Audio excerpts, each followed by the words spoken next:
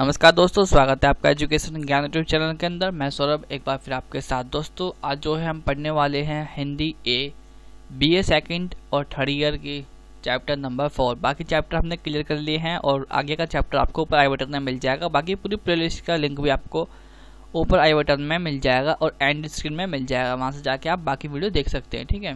तो इस चैप्टर का नाम है पर्दा उठाओ, पर्दा गिराओ। इसमें क्या है कि हम शॉर्ट तरीके से पहले जान लेते हैं, इसमें कि होता क्या है?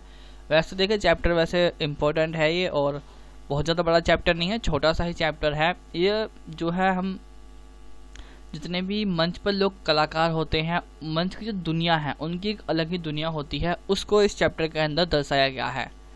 ठीक है? और जब मंच पे हम कुछ करते हैं, जैसे जैसे कि ये सर्कस वगैरह करा जाता है, उस तरह से या फिर कोई एकांकी हो गई एकांकी मतलब क्या होता है? एकांकी मतलब होता है नाटक का एक छोटा रूप। जैसे हम आपने देखा होगा एग्ज़ाम्पल से बताता हूँ मैं आपको, जैसे कि आपने देखा होगा बड़ी बड़ी फ़िल्में भी बनाई जाती हैं, पर ऐसा भी होता है कि छोटी छोटी कॉमेडी वीडियो बनाई जा सकती हैं, बनाई जाती हैं और जा सकती हैं। तो उन छोटी वीडियो को भी हम एकांकी कह सकते हैं। वैसे एकांकी होता है नाटक का छोटा रूप, ठीक है? तो चलिए शुरू करते हैं इसे। पाठ का सार, यानी पाठ का सारांश। सार, यानी पाठ का वही समरी आपकी, इसको ही पढ़ेंगे इसमें हम, क्योंकि यही ज़्यादा इंपॉर्टेंट है इसके अंदर। पर्दा उठाओ, पर्दा गिराओ। ये जो है वहाँ क्या थिएटर के पर्दे की बात की जा रही है। पर्दा उठाओ, पर्दा गिराओ, एक हास्य और व्यंग्य प्रधान एकांकी है, ठीक है? एकांकी जैसे मैंने बताया, नाटक का एक छोटा रूप होता है एकांकी। इसकी शुरुआत एक एकांकी क्लब के मालिक, एकांकी क्लब का जो मालिक है, उसका नाम है भगवंत। उनके चिड़चिड़े संवाद से होती है। संवाद मतलब होता है बात करना, यानी कि उनके चिड़चिड़े व्यवहार से, उनके चिड़चिड़े बात करने के तरीके से होती है। इसमें जो है, बस इम्पोर्टेंट चीज़ क्या है कि आपको इसमें नाम बहुत सारे दे रखे हैं, यानी पात्र जो जो लोग उसमें रोल कर रहे हैं, अपनी भूमिका निभा रहे हैं, उन्हें पात्र कहते हैं हिंदी में, ठीक है? तो उनके नाम कुछ ज़्यादा ही हैं इसमें। तो सबसे पहले इन्हें याद करने लायक चीज़ क्या है इसमें कि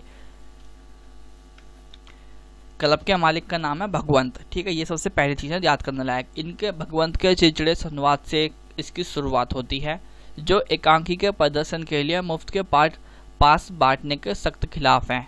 इनका जो शो है, ये चीज़ में मुफ़्त के पास किसी को नहीं बांटते, चाहे वो कोई भी हो। ठीक है? पर कुछ लोग हैं कि मुफ़्त के पास बांट देते हैं, उसी वजह से भगवंत जो है काफ़ी चिड़चिड़े व्यवहार के रहते हैं। काफ़ी गुस्सा करते हैं इसी बात को लेकर। इसी कारण जो है कुछ अभिनेता उनसे नाराज़ भी रहते हैं। बड़े बड़े अभिनेता वगैरह जो है, वो भी देखने आते होंगे तो वो अभिनेता मुफ़्त की पास के चक्कर में इनसे नाराज़ भी रहते हैं। बलवीर नाम का एक कैरेक्टर है इसमें, जो कि सबसे पहले जिसने सारा काम खराब करा, इनका ठीक है? सबसे पहले बलवीर नाम का अभिनेता जो है प्रदर्शन के समय बीमार पड़ गया है, जिससे पूरी एकांकी की बनावट पर असर पड़ता है, क्योंकि बलवीर का रोल है जो वो अब कौन निभाएगा इस वजह से, ठीक है? वह एकांकी के निर्देशक निर्देशक मतलब होगा डायरेक्टर डायरेक्टर का नाम है क्या? दयाराम। जो जिगे है वो किसकी है? क्लब का मालिक भगवंत है। बलवीर जो है, बीमार पड़ जाता है। और जो निर्देशक है, जिन्हें सब चीज़ रची है डायरेक्टर जो है, वो कौन है? दयाराम।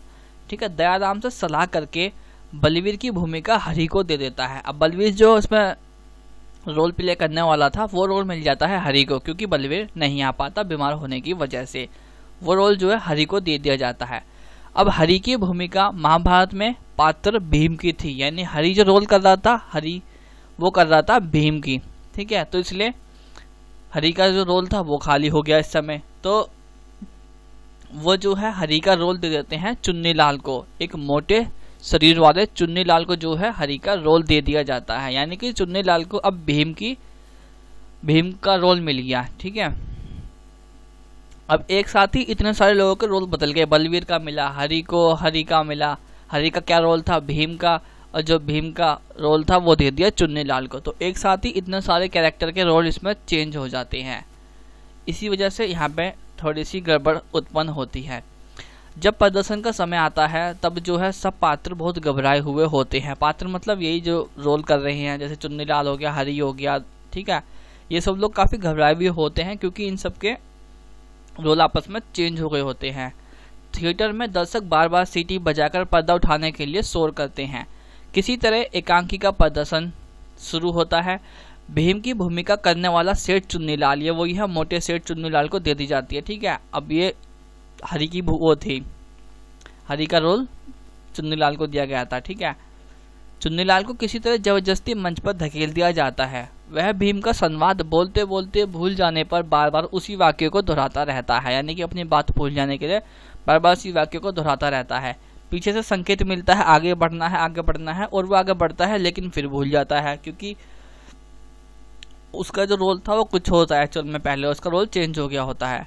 दर्शक उसे हुट करते हैं, नफरसी करने लगते हैं मतलब चिड़चिड़े व्यवहार से होने लगा, दर्शकों के बीच में गुस्सा सा उत्पन्न होने लग जाता है। घबराकर निर्देशक दयाराम पर्दा गिराने को कहता है, पर्दा गिराओ पर्दा गिराओ, तभी कहता है वो अचानक ही। वह दर्शकों के बिगड़े हुए मूड को संभालने के लिए अफीमचियों को बुलाया जाता है और दूसरे नाम की एक एकांकी तैयार कर ली जाती है, जिसका नाम होता है राजपुतानी। ठीक है? वह मंच पर खड़ा होकर दर्शकों से माफ़ी माँगता है। कौन? डायरेक्टर जो है। और उन्हें शांत रहने के लिए अनुरोध करता है कि शांत हो जाइए, हम दूसरी एकांकी तैयार की है, हम दूसरे एकांकी आपको दिखाते हैं। और दूसरे नाटक की घोषणा कर देता है। इसके बाद फिर पर्दा उठाया जाता है। इस नाटक में एक महारानी है जो कि क्रोध से आग बबूला होकर अपनी दासी को फटकारती है, यानी कि डांट मारती है। एक महारानी अपने, अब यहाँ पे देखिए थोड़ी सी कंफ्यूजन है, वैसे बाकी कुछ नहीं है। एक बार में ही समझ में आ जाएगा, कोई दिक्कत वाली बात नहीं है वैसे।